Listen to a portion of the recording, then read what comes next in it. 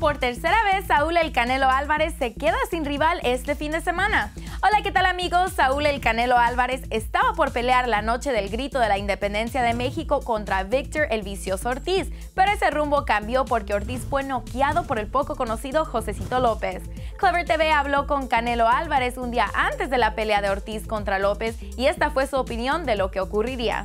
Bueno, y este fin de semana es un fin de semana importante porque eso va a determinar si vas a pelear contra Víctor Ortiz, ¿es así?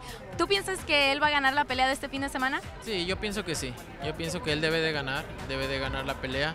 No, no, debe, no debe tener eh, ningún problema y pues esperemos que gane, que no salga algún corte o algún cabezazo, corte o algún cabezazo, corte o algún cabezazo, corte o algún cabezazo. Canelo, le diste la mala suerte.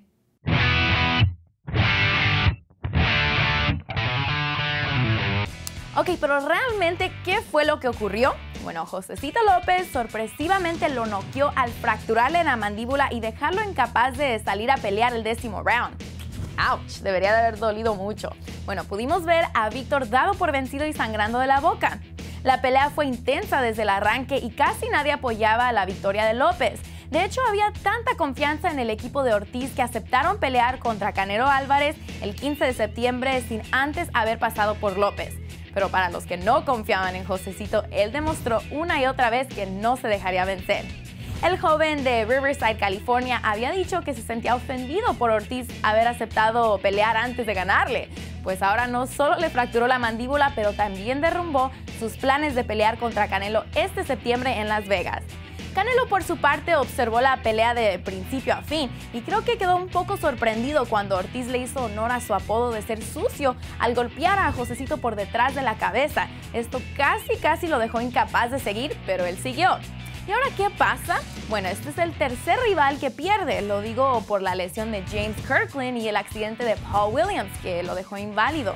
Canelo nos dijo cómo se sintió después del accidente de Williams y esto fue lo que nos dijo. Y el último boxeador con el que te tocaba pelear tuvo su accidente, desafortunadamente, ¿cómo te sientes de ello? No, pues muy mal, muy triste, ¿no? Porque eso nos puede pasar a cualquiera, eh, entonces muy triste, ¿no? Entonces, pero Dios sabe por qué hace las cosas, ¿no? Entonces ojalá se recupere pronto y que más que nada que tenga, que tenga salud, ¿no? Después de ese evento, ¿te has puesto a pensar tú cómo puedes vivir tu vida diferente? De decir, pues de repente ahora él ya le va a cambiar su vida, ya no puede boxear, su carrera pues se le termina por completo. Así es, es lo que, lo que, a lo que me refiero, ¿no?